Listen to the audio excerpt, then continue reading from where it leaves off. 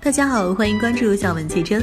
如今我们出行大多数会选择开车，但有时候出远门也会坐火车和高铁。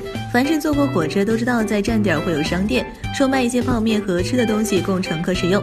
除此之外呢，在火车也有乘务员叫卖盒饭。为啥一趟火车上千名乘客，连几十份盒饭都卖不掉呢？终于知道答案了。首先，很多人在坐火车都会带零食充饥，这时呢，盒饭在他们眼里就没有很必要。其次是坐火车是一件挺痛苦的事儿，由于车上空气环境不是很好，部分人呢都会出现不适或者晕车的情况。这种情况下根本就不想吃什么东西，只能喝点水来缓解一下身体了。最后一点可以毫不夸张的说是又贵又难吃，只要吃过火车上的盒饭就不想再吃第二次了。不好吃就算了，盒饭价格还是外面的两三倍，一份十几块钱的盒饭能卖到四五十块。综合以上就是盒饭卖不出去的原因了。